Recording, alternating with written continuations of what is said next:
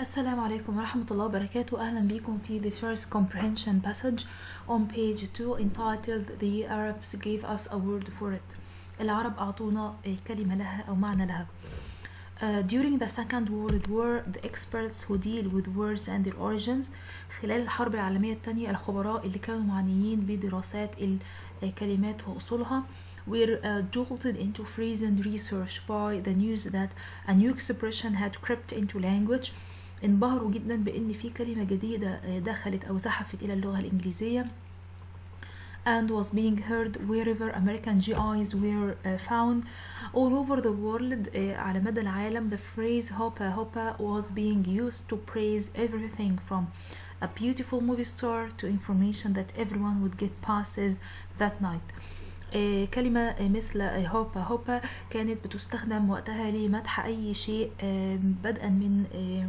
نجم لفيلم جميل لأي معلومة الشخص كان يقدر ان هو يوصل لها بسهولة after long and learned arguments بعد جدال طويل جدا و واسع the word experts decided that the origin of hopa hopa couldn't be defined exactly رجحوا إن مفيش حاجة أو معنى مباشر ومظبوط لمعنى كلمة هوبا هوبا but give the weight of their opinion to the Arabic greeting. مرحبا. لكن حسوا إن في تشابه ما بينها وما بين التحية العربية. مرحبا. or the Arabic word حبة أو محبة meaning love.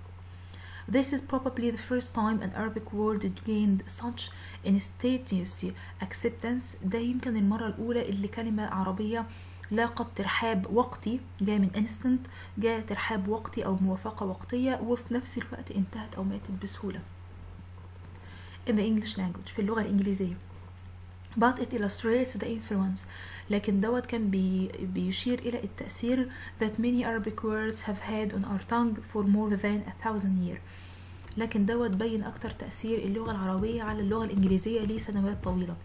وطبعا في paragraph 4 بيتكلم معانا على كلمات كتيرة جدا دخلت من أصل عربي زي درويش أو زي مثلا كلمة من أصل French زي كوافير كلمة زي زاكيان كلمة زي سيكن كل الكلمات ديت كلمات دخلت من اللغات الأخرى إلى اللغة الإنجليزية ودخلت ليها سماعا وبناء عليه حصل لها حاجة زي ترانسليتريشن يعني بدأت تكتب كما تنطق وتستخدم للتعبير عن المعنى اللي قصدوه الناس الأصليين للكلمة سواء كانوا فرنش أو أرب أو حتى إيطاليان. Uh, five, these same costumes and the dress of almost any Middle Eastern والملابس والتقاليد الخاصة بالعرب أو الناس الشرق were made of materials that far surpassed the sturdy homespun that Europeans were used to كانت مصنوعة من مواد الأوروبيين ما كانوش معتادين عليها in the days when international trade was more confined في وقت كانت التجارة العالمية كانت محددة بشكل كبير As horizons widened وبعد ما بدأت الأفق تتسع أكثر وأكثر so did the fame of oriental fabrics. بدأ يتوسع معها أكتر سمعة الأقمشة المصرية الشرقية والأقمشة العربية بشكل كبير. The words that the Arabs used for these fabrics quickly became a part of our language. وكمان الكلمات اللي العرب أطلقوها على تلك الأقمشة والألوان الخاصة بيها بدأت إنها تدخل اللغة الإنجليزية برضو سماعا run down a list of materials and you will find cotton, cotton, damask, uh, mohair, moire, muslin and uh, sack all words with an Arabic source كلها uh, كلمات من uh, أصل عربي Trade and religion seem intertwined all through the history of language. وبكده بنشوف إن التجارة والدين يبدو إن هما كانوا مرتبطين ومتداخلين بشكل كبير جدا في تاريخ اللغات.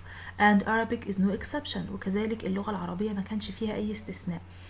As Christianity was spread through the use of Latin زي ما اللغة المسيحية انتشرت أكتر باللغة اللاتينية leading to Latin roots from uh, many language اللي uh, أدى كمان إن إحنا نكتشف الأصول اللاتينية للعديد من الكلمات so was Arabic spread by Muslims وكمان اللغة العربية انتشرت عن طريق المسلمين throughout the world عبر العالم This has led to words that have come down to us from the Arabic through uh, most of our immediate source languages ودوت اللي أدى لانتشار كلمات كتيرة من أصل عربي في اللغة الإنجليزية. There are many localities in Asia and Africa where the only written form possessed by the local tongue is in the Arab script. في مناطق كبيرة جدا في آسيا وأفريقيا الكلمات أو اللوكال تونج اللي هو اللغة المحلية كانت فيها اللغة العربية introduced by Muslim missionaries اللي وصلها ليها طبعا جماعات المسلمين almost uh, 37 million persons in the world أكتر من 73 مليون شخص في العالم speak Arabic as their native or second language كلغة أصلية أو كلغة ثانية It's 13th on the list of all languages وكذلك بنلاقي ان اللغة العربية يصنف انها من اللغة ال 13 على مستوى انتشارها على العالم Arabic is heard over a tremendous sweep of territory from North Africa through Arabia into Iraq and is widely understood wherever the Muslim religion predominates ومفهومة وواضحة ومنتشرة طالما الفريق أو المجموعة من المسلمين أو العرب موجودين فهم طبيعي بينشروا هذه اللغة معاهم.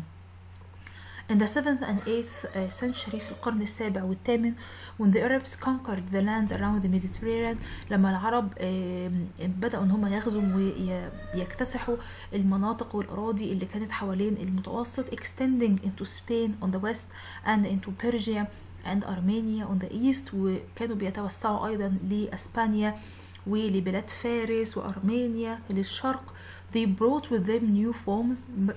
جابوا معاهم أو أحضروا معاهم أشكال جديدة وأفكار جديدة وفن جديد وطريقة جديدة للمعيشة. New ways of living and new words to describe them. وكمان كلمات جديدة للتعبير عن الأشكال وال والفنون ونمط المعيشة الجديد.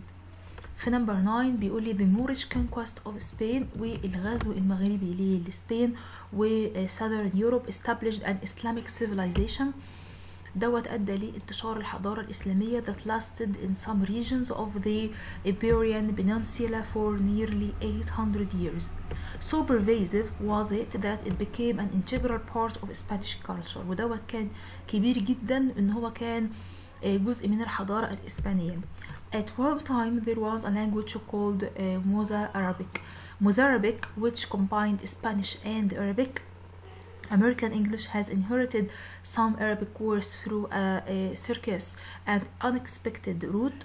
The term adob, which means a brick dried in the sun, worked its way into our language by way of Mexico. Atube is Arabic for brick. Tube, the uh, Moorish deposited the word in the Spanish vocabulary, and Spanish uh, conquistadors carried it out to Latin America where it was used in the regions of the Spanish uh, southwest which later became part of the United States وفي الآخر وصلت إنها كانت بتنتشر في الولايات المتحدة and today Adobe has come to describe not only sun-dried sun-dried bricks يعني الطوب اللي نشف عن طريق الشمس but any structure made of this material أي مادة اتصنعت من uh, تلك المواد أو الأدوات في رقم 10 بيقول there seems to be a widespread belief that medieval Europe gained uh, much of its knowledge of the East and Oriental ways from the men who took part in the Crusades اللي اشتركوا في الكروسيدز on the surface على الناحية السطحية أو من ال من ال من بره نلاقي إن the great clashes of the two religions الصراع ما بين الديانتين أو الدينين would be an excellent opportunity for many Arabic words to edge into the language of Europe. ده كان فرصة كبيرة عظيمة إن اللغة العربية تلاقي طريق ليها للغة الأوروبية. Perhaps it did happen, but those particular words must have been uh, as fleeting as the hopa hopa of uh, more modern times. Experts trace terms like admiral, arsenal, fanfare, and caliber, all originally Arabic, which could have been back at this time. كل هذه الكلمات خاصة اللي بدأ بألف لام كان أصلها عربي وكانت بدايتها من حروب الكروسيد. Following the path of Arabic words into English لو إحنا تتبعنا طريق اللغة الكلمات العربية في اللغة الإنجليزية الكلام ده في الفقرة رقم 11 11 we find that the result of the crusades was much more important than the struggle themselves. هنلاقي إن نتيجة الكروسيدز كانت أكبر بكتير من الصراعات اللي كانت حاصلة وقتها. commercial treaties after the crusades finally legalized existing trade then expanded it وبكده بدأت المعاهدات التجارية توسع التجارة وتوسع التعاقدات بين الدول في رقم 12 The World magazine embraced both military and trade terms It comes to us through French, all the French and Italian all the ways back to the Arabic magazine. وطبعا برضو بيتكلم معايا طول الفقرة بتاعت 12 على أصل كلمة ماجازين وكان أصلها عبارة عن powder magazine أو مجموعة من ال informations منظمة ومسستمة في ال single structure اللي هو مجموعة articles into one magazine.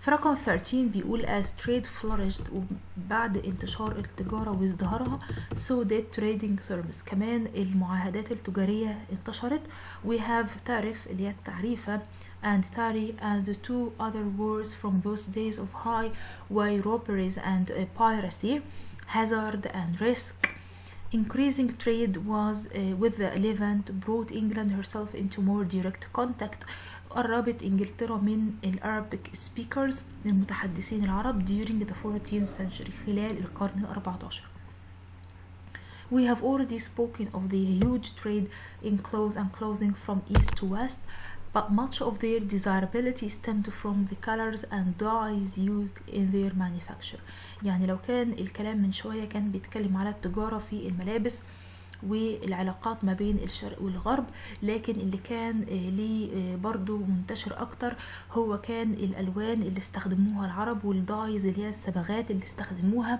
زي ما بيقول بعدها بسطرين السافرون والحنة والكارمين وكل الحاجات دي انتشر والكريمزن كل الكلمات ديت انتشرت صوتيا في اللغة الإنجليزية من أصل عربي. في paragraph رقم 15 the chemical skills that produced these dyes ال ال الأدوات الكيميائية اللي أنتجت الصبغات ديت and many perfumes وكمان العطور were highly developed by the Arabs كان العرب فضل كبير جدا ليهم even in the middle ages they brought us to the words زي elixir um, alkali uh, camphor uh, carboy uh, borax uh, كل الكلمات دي وبالتحديد طبعا الكلمات زي ما قلنا اللي بتبدأ بإيه اللي زي الكحول Another substance much used in the science comes from alcohol, actually a powder from for painting and eyelids. Chemistry is said to derive the uh, from uh, alchemy, which in turn comes from alchemia, a mingling of juices. Chemistry was of course originally the art of extracting juices from uh, medical plants. وطبعا في الجزء ده بيتكلم على كلمة الكيمياء اللي بعد كده بقت كيمستري وهي أصلها الكيمياء وهي كانت بتستخدم في اللغة العربية للتعبير عن استخراج العصائر والعصارات من النباتات لأغراض طبية. And that leads us to plant names وده طبعا في paragraph رقم 16 بيوصل لنا إن بيقول إن ده بيودينا بقى بعد كده أو بينقلنا لأسماء النباتات اللي زي ما اتفقنا برضو من أصل عربي آه كلمات زي آه حاجات زي صودا آه كراوي جاسمين ليلاك كل. سبينج سبانخ كل الحاجات دي جاية من أصول lemon and lime soda جاية من أصول باللغة العربية في الفقرة رقم 17 while we are in the drug store لما نيجي نقف في محل أو متجر لل drug store في أمريكا أو في Europe هنلاقي كلمات زي sherbet اللي هي الشربات caramel syrup candy coffee all come into view Each of these, along with that old uh, Kentucky drink of uh, jalap, first got its name from Arabic. كلهم uh, بدأوا للظهور في اللغة العربية أولاً. في رقم 18 perhaps the famous coffee of that section of the world kept its learned men awake far into the night اللي كان لها تأثير كلمة coffee إنها عبارة عن مشروب بيبقي الأفراد لفترة طويلة آه سهرانين gazing at the heavens whatever the reason the science of astronomy was highly developed by the Arabs وكمان علم الأسترونومي الفضاء كان تم تطويره من قبل العرب and dozens of star names we use are the ones originally given to them by uh, desert sky watchers اللي أعطوها ليهم ال sky watchers The words uh, Alidad, uh, Azmonth, uh, Zenth, and Nadir all are part of the same astronomical heritage. في uh, page 9 في فقرة 19 our word uh, troubadour possibly comes from uh, taraba to sing أو طرب يعني to sing or to make music if the music were played at a costume ball the affair might well be a masquerade straight from buffoon or mask comes from the same root كلها كانت عبارة عن حاجات بتصف العالم الغنائي أو الليالي اللي بيقال أو بيقام فيها الأغاني لفترة طويلة في الباسج رقم 20 anything more strenuous than dancing as leisure time activity was apparently uh, precluded by the climate of most countries where Arabic took hold. Therefore, lists of Arabic loanwords lack most terms of outdoor boots. sports في passage 21 بيكمل بيقول however if you are a tennis player you often use at least one زي كلمة racket the word racket it's from the Arabic word راحة plural راحت meaning palm of the hand اللي هي راحة اليد on the streets of New York لو انت في شوارع نيويورك youngsters will uh, still play sidewalk tennis with that original equipment هتلاقيهم لسه بيستخدموا نفس الآلة في التنس But if you plan on planning tennis that way, just to conform with the Arabic use of the term, think twice. Then relax on a sofa or divan. طبعا كلمة sofa نفس الكلام. Divan, diwan or ottoman or even a mattress. They are all descended from the Arabic. لأنها كلها كلمات برضو من أصل عربي. تعالوا نشوف مع بعض مجموعة المفردات اللي في الاكسرسايز في page 7 review مراجعة uh, from one who used the phrase hoppa hoppa ها بالظبط بدأ في ال paragraph اللي إحنا قرأناه في الأول Americans GIs ها الإجابة هي B American GIs number two there three of the following words are from Arabic source which one is not ها إحنا قلنا cotton تمام؟ قلنا cotton من أصل عربي muslin من أصل عربي جوز من أصل عربي. الكلمة الوحيدة اللي is not هي silk اللي هي C.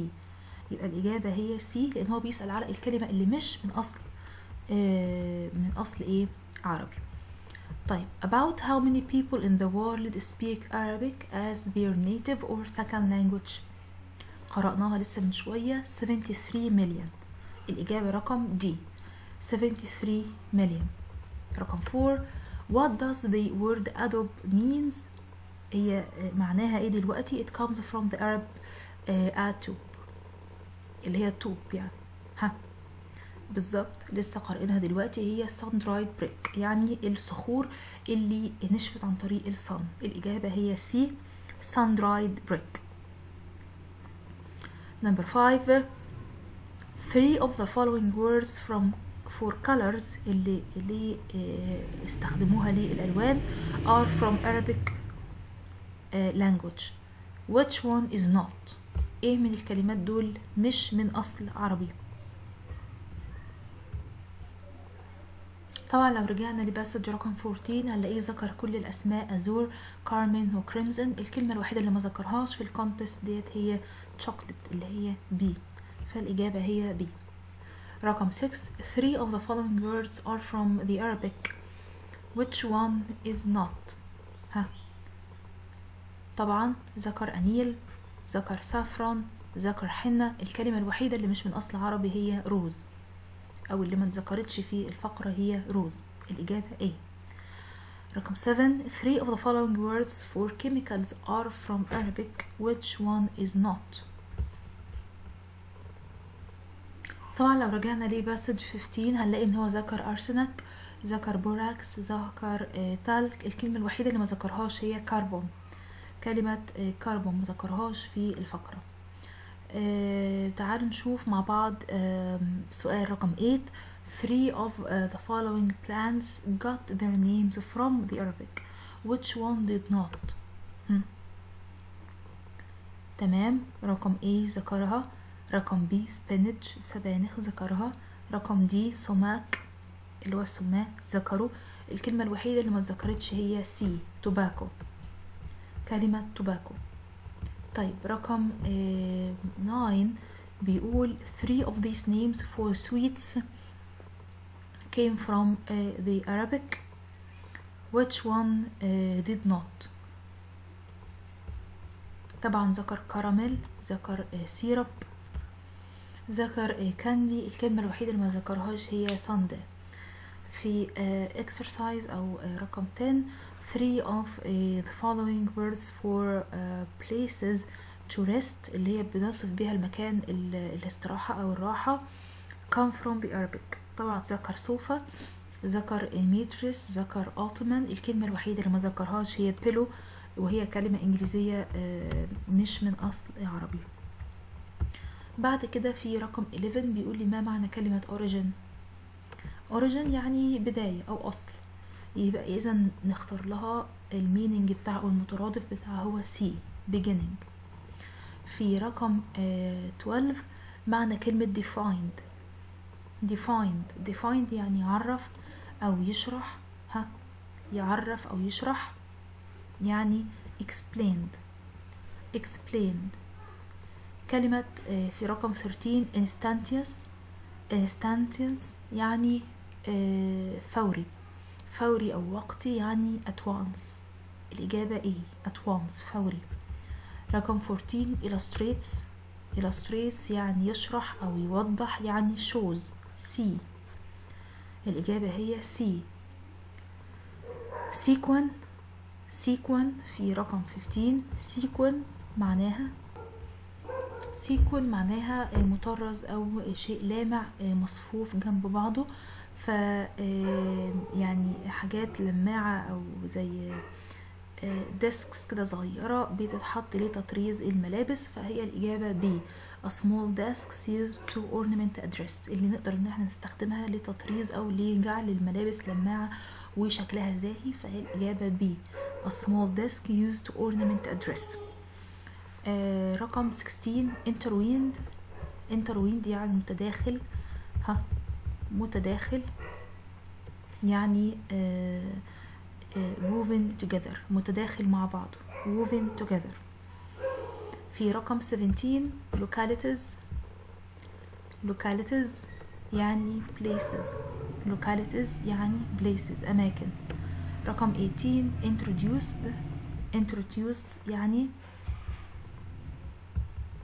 تمام يتم إن هو يقابل أو يظهر في المكان في ال paragraph رقم 6 paragraph رقم 6 تعالوا نشوف كلمة introduce بالظبط معناها إيه علشان هو عايز يقول يقول معنى كلمة introduce زي ما اتذكرت في paragraph 6 هنلاقي إن في آخر جملة من ال paragraph رقم 6 بيقول is in the Arabic script introduced by Muslim missionaries. يعني اللي قدمها أو اللي آه أظهرها أو اللي آه ابتدعها أو أدخلها.